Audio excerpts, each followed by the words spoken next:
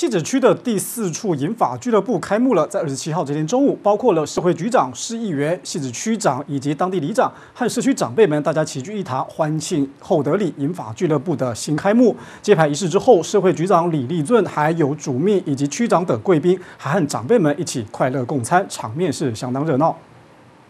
请揭牌。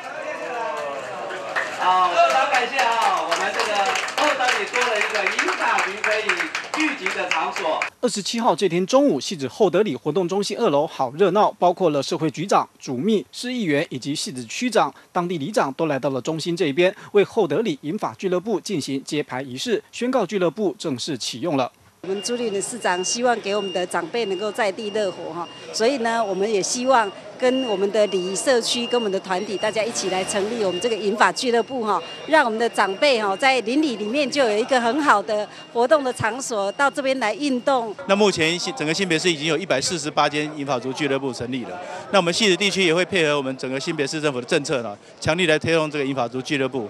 因为有个银发族俱乐部提供出来呢，让老人家能够在现场呢下棋啦、投篮球啦啊，做运动运动啊，那非常好的地方。那我们的社会局长以及及我们的祖秘以及习区长、中仁议员，还有廖正良议员啊，白佩如的秘书，还有我们狮子会的总监以及会长，都莅临我们这现场来关心我们云华俱乐部哈的所有的老人家。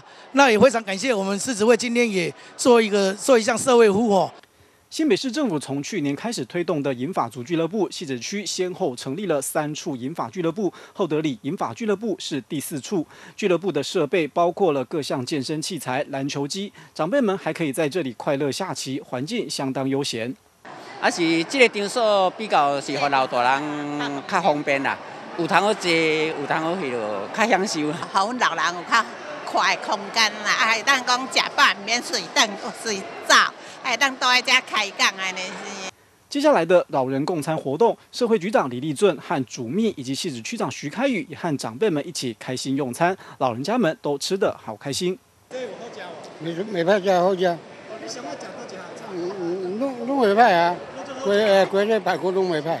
好食好食，哎，很好吃。你想要食什么什么菜？你想要食什么菜？